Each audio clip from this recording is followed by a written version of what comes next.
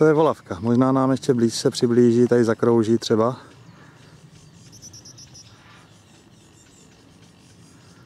Volavka opelavá.